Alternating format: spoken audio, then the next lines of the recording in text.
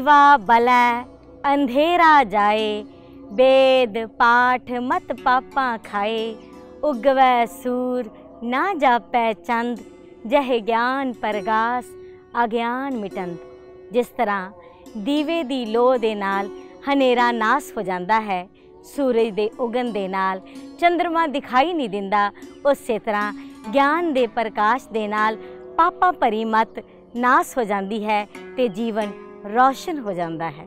ਆਓ, ਇਸੇ ਖੂਬਸੂਰਤ ਰੌਸ਼ਨੀ ਦੀ ਲੋ ਵਿੱਚ ਗੁਰੂ ਦੀਆਂ ਰੰਗਰਤੀਆਂ ਅਸੀਸਾਂ ਦਾ ਰੰਗ ਮਾਣੀਏ ਜੀ।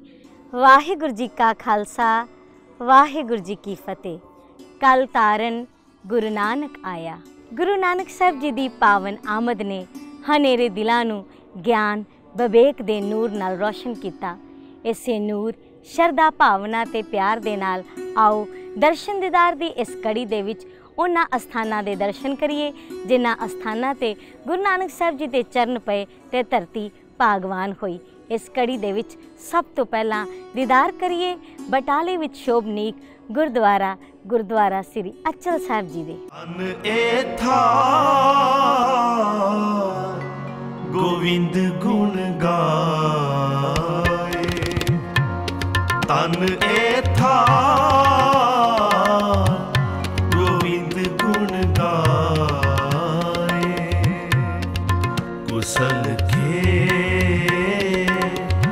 ਪ੍ਰਭ ਆਪ ਬਸਾਏ ਕੁਸਲ ਕੇ ਪ੍ਰਭ ਆਪ ਬਸਾਏ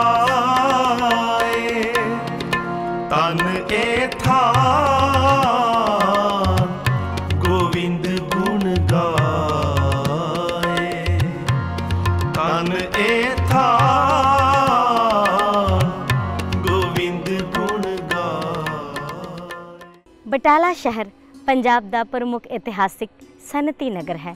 ਇਸ ਦੀ ਪਾਵਨ ਜੂ ਦੇ ਅੰਦਰ ਸਮੇਟਿਆ ਹੈ ਗੁਰੂ ਨਾਨਕ ਦੀਆਂ ਬਾਤਾਂ ਤੇ ਯਾਦਗਾਰਾਂ ਦਾ ਸੁਨਹਿਰੀ ਇਤਿਹਾਸ। ਇਸ ਦੀ ਮਿੱਟੀ ਤੇ ਕਣ ਕਣ ਸੁਣਾਉਂਦੀ ਹੈ ਇਤਿਹਾਸ। ਬਾਬੇ ਨਾਨਕ ਦੇ ਉਹਨਾਂ ਸਫ਼ਰਾਂ ਦਾ ਜਦੋਂ ਗੁਰੂ ਨਾਨਕ ਸਾਹਿਬ ਜੀ ਨੇ ਪ੍ਰਚਾਰ ਫੇਰੀਆਂ ਰਹੀ ਤੈਅ ਕੀਤਾ ਤੇ ਦੁਨੀਆ ਦੇ ਲੋਕਾਂ ਨੂੰ ਸੱਚ ਦਾ ਮਾਰਗ ਦੱਸਿਆ। ਨਗਰ ਬਟਾਲਾ ਪੰਜਾਬ ਦੇ ਜ਼ਿਲ੍ਹਾ ਗੁਰਦਾਸਪੁਰ ਦਾ ਇੱਕ ਪ੍ਰਸਿੱਧ ਨਗਰ ਹੈ। ਜਿਸ ਨੂੰ ਬਹਿਲੋਲ ਲੋਧੀ ਦੇ ਰਾਜਕਾਲ ਦੌਰਾਨ ਭੱਟੀ ਰਾਜਪੂਤਾਂ ਦੁਆਰਾ ਵਸਾਇਆ ਗਿਆ ਸੀ। ਸਿੱਖ ਇਤਿਹਾਸ ਨਾਲ ਇਸ ਦਾ ਸਬੰਧ ਗੁਰੂ ਨਾਨਕ ਸਾਹਿਬ ਦੇ ਵਿਆਹ ਪੁਰਬ ਅਤੇ ਗੁਰੂ ਸਾਹਿਬ ਦੀ ਇੱਥੇ ਆਮਦ ਨਾਲ ਜੁੜਦਾ ਹੈ। ਇਸ ਨਗਰ ਵਿੱਚ ਸ਼ਸ਼ੋਭਤ ਗੁਰ ਅਸਥਾਨ ਗੁਰੂ ਨਾਨਕ ਸਾਹਿਬ ਜੀ ਨਾਲ ਸੰਬੰਧਿਤ ਉਹਨਾਂ ਇਤਿਹਾਸਕ ਯਾਦਾਂ ਨੂੰ ਰੂਬਰੂ ਕਰਦੇ ਨੇ, ਜਦੋਂ ਪ੍ਰਥਮ ਜੋਤ ਧੰਨ ਸ੍ਰੀ ਗੁਰੂ ਨਾਨਕ ਸਾਹਿਬ ਨੇ ਇਸ ਨਗਰ ਦੇ ਜ਼ਰਰੇ ਜ਼ਰਰੇ ਨੂੰ ਆਪਣੀ ਆਮਦ ਨਾਲ ਨਿਵਾਜ਼ਿਆ। ਇਸ ਨਗਰ ਵਿੱਚ ਸ਼ਸ਼ੋਭਤ ਗੁਰ ਅਸਥਾਨ ਅੱਜ ਵੀ ਸਾਨੂੰ ਗੁਰੂ ਕਾਲ ਦੇ ਇਤਿਹਾਸ ਨਾਲ ਵਾਬਸਤਾ ਕਰਦੇ ਹਨ।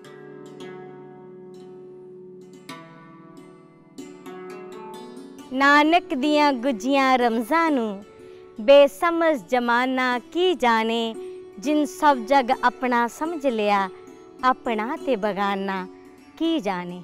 ਰਹਿਮਤ ਦਾ ਇਸ਼ਾਰਾ ਹੋਇਆ ਸੀ। ਕੋੜਾ ਅੱਕ ਵੀ ਸ਼ਹਿਦ ਬਣ ਚੋਇਆ ਸੀ। ਉਹਦੀ ਨਜ਼ਰ ਨਿਸ਼ਾਨੇ ਕਰ ਗਈ ਜੋ। ਕੋਈ ਤੀਰ ਨਿਸ਼ਾਨਾ, ਕੀ ਜਾਣੇ? ਕੋਈ ਤੀਰ ਨਿਸ਼ਾਨਾ, ਕੀ ਜਾਣੇ? ਗੁਰਦੁਆਰਾ ਡੇਰਾ ਸਾਹਿਬ, ਗੁਰੂ ਨਾਨਕ ਸਾਹਿਬ ਜੀ ਦੇ ਵਿਆਹ ਪੁਰਬ ਦੀ ਯਾਦ ਵਜੋਂ ਵੀ ਸ਼ਸ਼ੋਭਿਤ ਹੈ। ਇਸ ਪਾਵਨ ਅਸਥਾਨ ਤੇ ਗੁਰੂ ਨਾਨਕ ਸਾਹਿਬ ਜੀ ਦਾ ਵਿਆਹ ਭਾਈ ਮੂਲ ਚੰਦ ਜੀ ਦੀ ਸੁਪੁੱਤਰੀ ਮਾਤਾ ਸੁਲਖਣੀ ਜੀ ਨਾਲ ਸੰਪੂਰਨ ਹੋਇਆ। ਇਹ ਅਸਥਾਨ ਭਾਈ ਮੂਲ ਚੰਦ ਜੀ ਦੇ ਵਿਆਹ ਪੁਰਬ ਵੇਲੇ ਰਿਹਾਇਸ਼ੀ ਅਸਥਾਨ ਦੀ ਗਵਾਹੀ ਭਰਦਾ ਹੈ। ਇੱਥੇ ਹੀ ਗੁਰੂ ਹਰਗੋਬਿੰਦ ਸਾਹਿਬ ਜੀ ਆਪਣੇ ਸੁਪੁੱਤਰ ਬਾਬਾ ਗੁਰਦਿੱਤਾ ਜੀ ਦੇ ਵਿਆਹ ਸਮੇਂ ਵੀ ਠਹਿਰੇ ਸਨ। ਇਸ ਅਸਥਾਨ ਦੀ ਮੁੱਢਲੀ ਸੇਵਾ ਮਹਾਰਾਜਾ ਸ਼ੇਰ ਸਿੰਘ ਨੇ ਕਰਵਾਈ। ਇਸ ਅਸਥਾਨ ਤੇ ਗੁਰੂ ਸਾਹਿਬ ਜੀ ਦੇ ਵਿਆਹ ਪੂਰਬ ਦੇ ਦਿਹਾੜਿਆਂ ਨੂੰ ਬੜੀ ਸ਼ਰਧਾ ਅਤੇ ਪਿਆਰ ਨਾਲ ਗੁਰਮਤ ਸਮਾਗਮਾਂ ਦੇ ਰੂਪ ਵਿੱਚ ਯਾਦ ਕੀਤਾ ਜਾਂਦਾ ਹੈ। ਗੁਰਦੁਆਰਾ ਕੰਨ ਸਾਹਿਬ ਬਟਾਲਾ, ਗੁਰੂ ਨਾਨਕ ਸਾਹਿਬ ਜੀ ਦੇ ਪਾਵਨ ਵਿਆਹ ਪੁਰਬ ਦੀ ਅਮਰ ਯਾਦਗਾਰ ਵਜੋਂ ਸੁਸ਼ੋਭਿਤ ਪਾਵਨ ਗੁਰ ਅਸਥਾਨ ਹੈ। ਇਸ ਅਸਥਾਨ ਤੇ ਗੁਰੂ ਨਾਨਕ ਸਾਹਿਬ ਜੀ ਨੇ ਭਾਈ ਮੂਲ ਚੰਦ ਜੀ ਦੀ ਸੁਪੁੱਤਰੀ ਬੀਬੀ ਸੁਲੱਖਣੀ ਜੀ ਨਾਲ ਗ੍ਰਸਤ ਜੀਵਨ ਜੀਉਣ ਦਾ ਅਹਿਦ ਲਿਆ। ਇਸ ਅਸਥਾਨ ਤੇ ਸੁਸ਼ੋਭਿਤ ਪੁਰਾਤਨ ਕੱਚੀ ਕੰਧ ਵੀ ਅੱਜ ਵੀ ਸਾਨੂੰ ਉਹਨਾਂ ਇਤਿਹਾਸਿਕ ਯਾਦਾਂ ਨਾਲ ਜੋੜਦੀ ਹੈ। ਜਦੋਂ ਗੁਰੂ ਸਾਹਿਬ ਜੀ ਨੇ ਇਸ ਅਸਥਾਨ ਤੇ ਇਸ ਧਰਤੀ ਤੇ ਚਰਨ ਪਾ ਕੇ ਇਸ ਧਰਤੀ ਨੂੰ ਭਾਗਸ਼ਾਲੀ ਬਣਾਇਆ। ਗੁਰਦੁਆਰਾ ਕੰਧ ਸਾਹਿਬ ਬਟਾਲਾ ਨਗਰ ਵਿਚਾਲੇ ਸ਼ੋਭਨੀਕ ਪਾਵਨ ਗੁਰ ਅਸਥਾਨ ਹੈ, ਜੋ ਗੁਰੂ ਨਾਨਕ ਸਾਹਿਬ ਦੇ ਵਿਆਹ ਪੁਰਬ ਵੇਲੇ ਕੀਤੇ ਪਹਿਲੇ ਪੜਾਅ ਦੀ ਗਵਾਹੀ ਭਰਦਾ ਹੈ।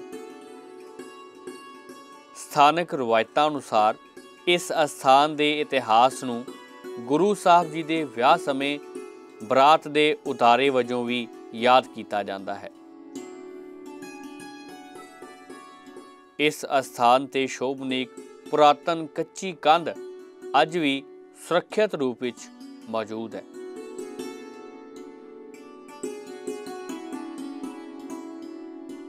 ਇਸ ਗੁਰ ਅਸਥਾਨ ਤੇ ਗੁਰੂ ਨਾਨਕ ਸਾਹਿਬ ਜੀ ਦਾ ਵਿਆਹ ਪੁਰਬ ਵੱਡੀ ਪੱਧਰ ਤੇ ਗੁਰਮਤ ਸਮਾਗਮ ਦੇ ਰੂਪ ਵਿੱਚ ਮਨਾਇਆ ਜਾਂਦਾ ਹੈ। ਗੁਰੂ ਸਾਹਿਬ ਦੀ ਆਮਦ ਦੇ ਇਤਿਹਾਸ ਨੂੰ ਦਰਸਾਉਂਦਾ ਵਿਸ਼ਾਲ ਨਗਰ ਕੀਰਤਨ, ਨਗਰ ਦੀ ਸੰਗਤ ਦੇ ਉਤਸ਼ਾਹ ਨੂੰ ਦਰਸਾਉਂਦਾ ਗੁਰੂ ਪਿਆਰ, ਸ਼ਰਧਾ ਤੇ ਵਿਸ਼ਵਾਸ ਦੇ ਅਰਥਾਂ ਨੂੰ ਜੀਵਦਾ ਹੈ। ਮਸਤਕ ਲਗੇ ਸਾਧ ਰੇਣ ਵੱਡ ਪਾਗ ਜਿਨਾਂ ਦੇ। ਮਸਤਕ ਲਗੇ ਸਾਧ ਰੇਣ ਵੱਡ ਭਾਗ ਜਿਨਾਂ ਦੇ। ਮਸਤਕ ਲਗੇ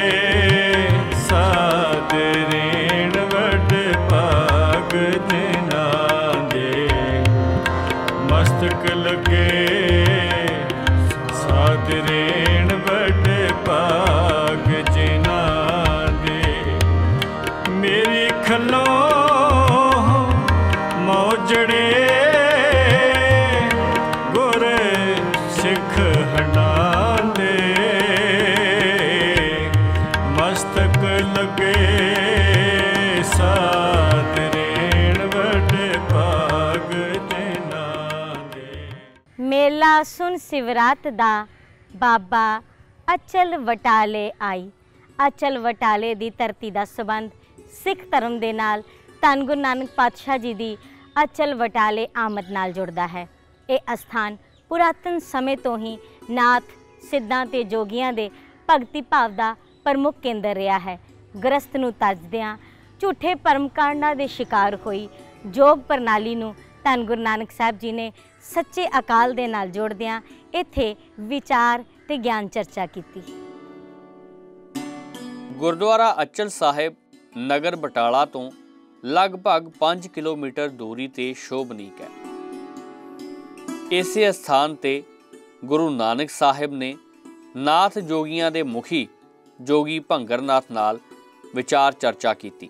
ਇਸੇ ਸਥਾਨ ਤੇ ਗੁਰੂ ਸਾਹਿਬ ਨੇ ਜੋਗੀ ਭੰਗਰਨਾਥ ਨੂੰ ਯੋਗ ਦੇ ਅਸਲ ਮਾਨਿਆਂ ਵਿੱਚ ਸਮਝਾਉਂਦਿਆਂ ਭਗਤੀ, ਸੱਚ ਅਤੇ ਅਧਿਆਤਮ ਦਾ ਮਾਰਗ ਦਿਖਾਇਆ। ਇਸ ਪਾਵਨ ਅਸਥਾਨ ਤੇ ਗੁਰੂ ਸਾਹਿਬ ਜੀ ਦੀ ਆਮਦ ਦੀ ਯਾਦ ਵਿੱਚ ਸਾਲਾਨਾ ਜੋੜ ਮੇਲਾ ਸਜਾਇਆ ਜਾਂਦਾ ਹੈ। ਗੁਰੂ ਸਾਹਿਬ ਜੀ ਦੀ ਇੱਥੇ ਆਮਦ ਨਾਲ ਇਹ ਸਥਾਨ ਗੁਰਦੁਆਰਾ ਅਚਲ ਸਾਹਿਬ ਦੇ ਨਾਮ ਤੇ ਸੁਭਾਇਮਾਨ ਹੈ। ਬਿਨ ਤੇਲ ਦੀਵਾ ਕਿਉਂ ਜਲੈ? ਪੋਥੀ ਪੁਰਾਨ ਕਮਾਈਐ ਪਾਉ ਵੱਟੀ ਇਤ ਤਨ ਪਾਈਐ। ਸੱਚ ਬੂਝਨ ਆਨ ਜਲਾਈਐ, ਇਹ ਤੇਲ ਦੀਵਾ ਇਉਂ ਜਲੈ। ਕਰ ਚਾਨਣ ਸਾਹਿਬ ਤਉ ਮਿਲੈ ਕਰ ਚਾਨਣ ਸਾਹਿਬ ਤਉ ਮਿਲੈ। ਸ਼ਰਨ ਪਰੇ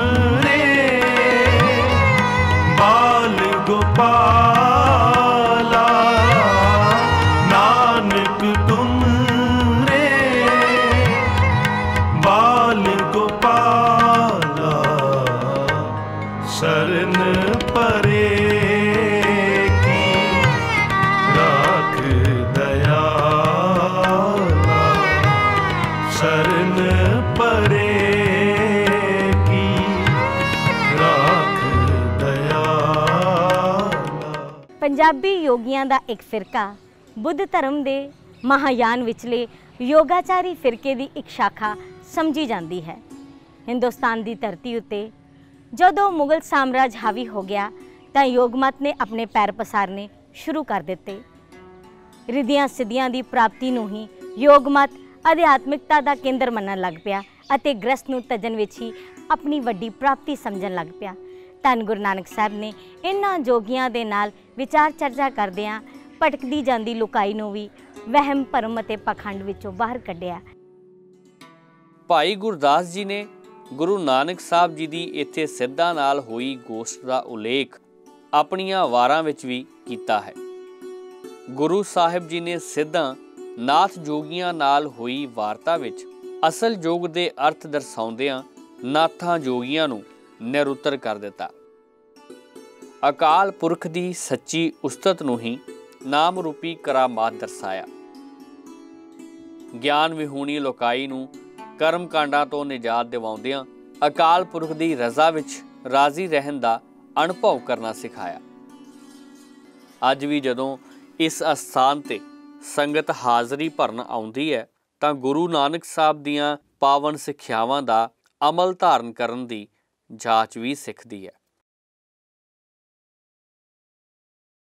ਧੰਨ ਗੁਰੂ ਨਾਨਕ ਪਾਤਸ਼ਾਹ ਜੀ ਨੇ ਅਚਲ ਵਟਾਲੇ ਤੇ ਸ਼ਿਵਰਾਤਰੀ ਦੇ ਮੇਲੇ ਤੇ ਜੁੜੀ ਲੋਕਾਈ ਨੂੰ ਸੱਚੇ ਪ੍ਰਭੂ ਦੇ ਨਾਲ ਜੋੜਿਆ, ਸਿੱਧਾਂ ਜੋਗੀਆਂ ਨਾਲ ਚਰਚਾ ਕਰਦਿਆਂ ਉਹਨਾਂ ਨੂੰ ਭੇਖਾਂ ਪਖੰਡਾਂ ਤੋਂ ਉੱਚਤਮ ਜੀਵਨ ਜਾਂਚ ਦਾ ਆਧਾਰ ਦੱਸਿਆ ਤੇ ਇਸੇ ਲਈ ਅੱਜ ਵੀ ਇਸ ਧਰਤੀ ਤੇ ਜਦੋਂ ਗੁਰੂ ਦਾ ਪਿਆਰਾ ਆ ਕੇ ਸਿਜਦਾ ਕਰਦਾ ਹੈ ਤੇ ਆਪਣੇ ਜੀਵਨ ਨੂੰ ਭੇਖਾਂ ਪਖੰਡਾਂ ਤੋਂ ਦੂਰ ਇੱਕ ਨਰੋਈ ਜੀਵਨ ਜਾਂਚ ਦੇ ਰੂਬਰੂ ਕਰਨ ਦਾ ਯਤਨ ਕਰਦਾ ਹੈ।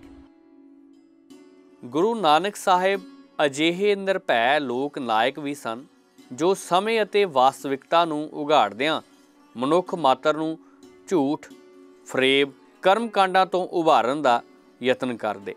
ਗੁਰੂ ਸਾਹਿਬ ਨੇ ਭਗਤੀ ਦੇ ਖੇਤਰ ਨੂੰ ਪਰਮਾਤਮਾ ਦੇ ਸਰਬ ਸ੍ਰੇਸ਼ਟ ਹੋਣ ਦਾ ਅਨੁਭਵ ਮੰਨਿਆ।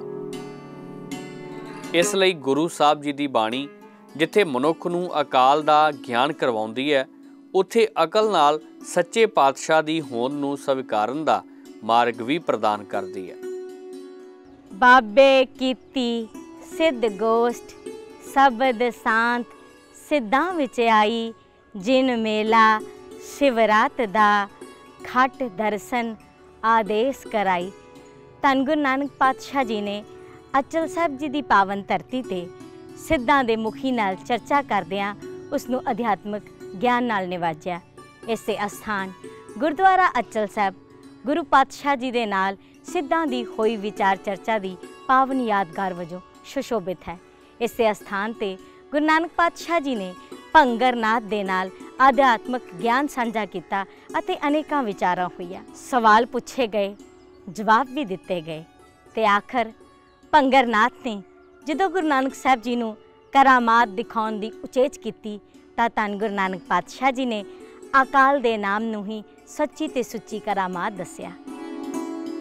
ਗੁਰੂ ਨਾਨਕ ਸਾਹਿਬ ਨੇ ਵਿਵਹਾਰਿਕ ਧਰਮ ਦੀ ਸਥਾਪਨਾ ਕਰਦਿਆਂ ਮਨੁੱਖ ਨੂੰ ਅਕਾਲ ਦਾ ਪੂਜਕ ਬਣਾਇਆ। ਇਸ ਲਈ ਗੁਰੂ ਨਾਨਕ ਸਾਹਿਬ ਜੀ ਦੀ ਬਾਣੀ ਜਦੋਂ ਮਨੁੱਖ ਨੂੰ ਨਿਰਗੁਣ ਸਰਗੁਣ ਪਰਮਾਤਮਾ ਦੇ ਗੁਣਾਂ ਨੂੰ ਧਾਰਨ ਕਰਨ ਦਾ ਮਾਰਗ ਪ੍ਰਦਾਨ ਕਰਦੀ ਹੈ, ਤਾਂ ਮਨੁੱਖ ਉਹਨਾਂ ਗੁਣਾਂ ਨੂੰ ਆਤਮਸਾਤ ਕਰਦਿਆਂ ਪ੍ਰੇਮ ਦੀ ਭਾਵਨਾ ਨਾਲ ਮਾਨਵ ਕਲਿਆਣ ਦੇ ਕਾਰਜਾਂ ਵਿੱਚ ਆਪਾ ਸਮਰਪਣ ਦਾ ਭਾਵ ਸਿੱਖਦਾ ਹੈ। ਗੁਰਦੁਆਰਾ ਅਚਲ ਸਾਹਿਬ ਵਿੱਚ ਸ਼ੋਭਨੀਕ ਇਹ ਪਾਵਨ ਬੇਰੀ ਅੱਜ ਵੀ ਸਾਨੂੰ ਉਹਨਾਂ ਇਤਿਹਾਸਿਕ ਸਾਂਝਾਂ ਨਾਲ ਜੋੜਦੀ ਹੈ। ਜਦੋਂ ਧੰਨ ਗੁਰੂ ਨਾਨਕ ਸਾਹਿਬ ਜੀ ਨੇ ਇੱਥੇ ਯੋਗ ਮਤ ਦੇ ਅਨੁਆਈਆਂ ਨਾਲ ਵਿਚਾਰ ਚਰਚਾ ਕਰਦਿਆਂ ਉਹਨਾਂ ਨੂੰ ਗਿਆਨ ਦੇ ਨਾਲ ਜੋੜਿਆ। ਹਾਂ ਕੁਰਬਾਨ ਜਾਈ ਹਾਂ ਕੁਰਬਾਨ ਜਾਈ, ਹਾਂ ਕੁਰਬਾਨ ਜਾਈ ਤੇਰੇ ਨਾਵੇ ਜਿਸ ਨੂੰ ਬਖਸ਼ ਲਹੇ ਮੇਰੇ ਪਿਆਰੇ, ਸੋ ਜਸ ਤੇਰਾ ਗਾਵੇ। ਸੋ ਜਸ ਤੇਰਾ ਗਾਵੇ।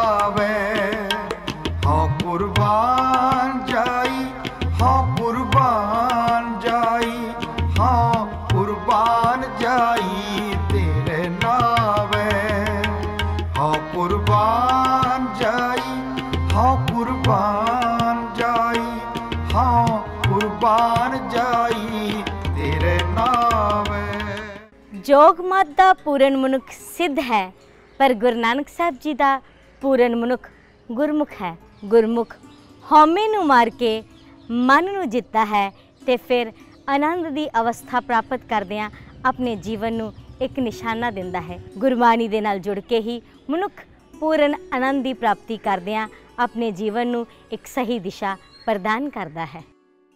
ਗੁਰੂ ਸਾਹਿਬ ਨੇ ਸਮੁੱਚੀ ਬਾਣੀ ਨੂੰ ਰਾਗਾਂ ਵਿੱਚ ਅੰਕਿਤ ਕਰਦਿਆਂ ਮਨੁੱਖ ਦੀ ਬੇਰਸ ਜ਼ਿੰਦਗੀ ਨੂੰ ਰਸ ਅਤੇ ਬੇਨੂਰ ਜ਼ਿੰਦਗੀ ਨੂੰ ਨੂਰ ਬਖਸ਼ਿਆ।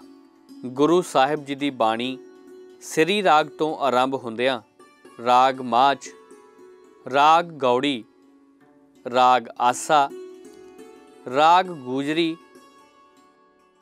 ਰਾਗ ਬਿਹਾਗੜਾ, ਰਾਗ ਵਡਹੰਸ, ਰਾਗ ਸੋਰਠ ਦੇ ਰਾਹੀਂ ਜਦੋਂ ਜ਼ਿੰਦਗੀ ਦੇ ਅੰਦਰ ਰੌਣਕ ਪਰਤਾਉਂਦੀ ਹੈ, ਤਾਂ ਮਨੁੱਖ ਰਾਗ ਧਨਾਸਰੀ, ਰਾਗ ਤਿਲੰਗ, ਰਾਗ ਸੂਹੀ ਗਾਉਂਦਿਆਂ, ਰਾਗ ਬਿਲਾਵਲ, ਰਾਮਕਲੀ ਰਾਗ ਦੇ ਰਾਹੀਂ ਪ੍ਰਭੂ ਮਿਲਣ ਦੀ ਇੱਛਾ ਦ੍ਰਿੜ ਕਰਦਾ ਹੈ।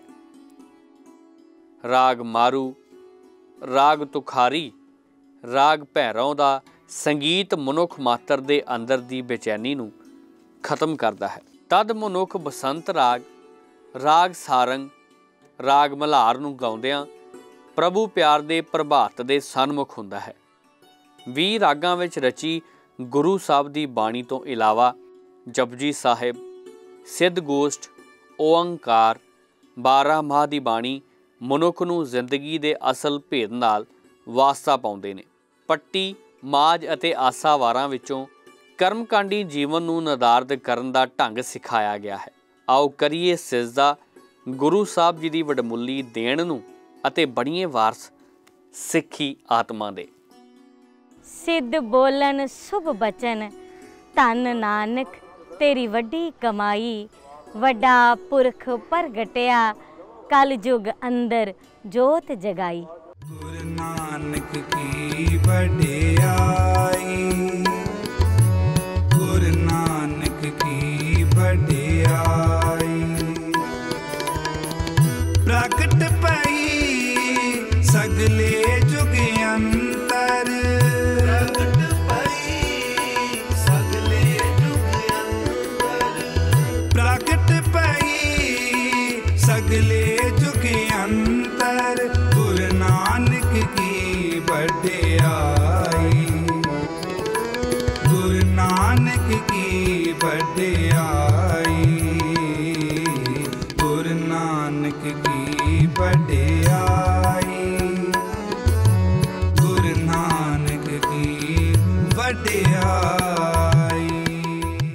ਬਾਬੇ ਭੇਖ ਬਣਾਇਆ, ਉਦਾਸੀ ਕੀ ਰੀਤ ਚਲਾਈ, ਚੜਿਆ ਸੋਧਨ ਧਰਤ ਲੁਕਾਈ। ਗੁਰੂ ਨਾਨਕ ਪਾਤਸ਼ਾਹ ਜੀ ਨੇ ਆਪਣੀਆਂ ਲੰਮੀਆਂ ਪ੍ਰਚਾਰ ਫੇਰੀਆਂ ਦੇ ਨਾਲ ਜ਼ਿੰਦਗੀ ਨੂੰ ਨਵੀਂ ਸੇਧ ਦਿੱਤੀ ਤੇ ਦੁਨੀਆ ਦੇ ਲੋਕਾਂ ਦੇ ਅੰਦਰ ਦੁੱਖ, ਪਰਮ, ਪਾਖੰਡ ਜਾਤ ਪਾਤ ਊਚ ਨੀਚ ਦੇ ਭੇਦਭਾਵ ਨੂੰ ਸਦਾ ਵਾਸਤੇ ਨਿਸਤੋ ਨਾਬੂਦ ਕਰ ਦਿੱਤਾ। ਆਓ ਦਰਸ਼ਨ ਦੀਦਾਰ ਦੀ ਇਸ ਕੜੀ ਦੇ ਸਫ਼ਰ ਦੇ ਨਾਲ ਇੱਕ ਸੁਨੇਹਾ ਲਈਏ ਕਿ ਮਨੁੱਖ ਬਣੀਏ, ਪਹਿਚਾਨੀਏ ਇਨਸਾਨੀਅਤ ਨੂੰ ਤੇ ਆਪਣੇ ਮੂਲ ਨੂੰ ਪਹਿਚਾਨੀਏ। ਇਹਤਰਾਮ ਕਰੀਏ ਇਨਸਾਨੀਅਤ ਦਾ। ਸਭ ਮੈਂ ਜੋਤ ਜੋਤ ਹੈ ਸੋਈ, ਤਿਸ ਦਾ ਚਾਨਣ, ਸਭ ਮੈਂ ਚਾਨਣ ਹੋਈ। ਗੁਰੂ ਦੀਆਂ ਬਖਸ਼ਿਸ਼ਾਂ ਨੂੰ ਇਹ ਜੀਵਾ ਤਾਂ ਪੂਰਨ ਬੋਲ ਨਹੀਂ ਸਕਦੀ, ਪਰ ਦਰਸ਼ਨ ਦੀਦਾਰ ਦੇ ਇਸ ਸਫ਼ਰ ਦੇ ਨਾਲ ਇੱਕ ਉਪਰਾਲਾ ਹੈ ਗੁਰੂ ਦੀਆਂ ਬਰਕਤਾਂ ਦੇ ਗੁਣ ਗਾਇਨ ਦਾ। ਆਓ ਇਸੇ ਉਦੇਸ਼ ਦੇ ਨਾਲ ਫਿਰ ਜੁੜਾਂਗੇ ਦਰਸ਼ਨ ਦੀਦਾਰ ਦੀ ਇੱਕ ਹੋਰ ਕੜੀ ਨੂੰ ਲੈ ਕੇ, ਇੱਕ ਹੋਰ ਸਫ਼ਰ ਦੇ ਨਾਲ। ਤਦ ਤੱਕ ਦਿਓ ਇਜਾਜ਼ਤ। ਗੁਰੂ ਦੀਆਂ ਰੰਗਰਤੀਆਂ ਅਸੀਸਾਂ ਦਾ ਰੰਗ ਮਾਣੀਏ ਜੀ। ਵਾਹਿਗੁਰੂ ਜੀ ਕਾ ਖਾਲਸਾ, ਵਾਹਿਗੁਰੂ ਜੀ ਕੀ ਫਤਿਹ।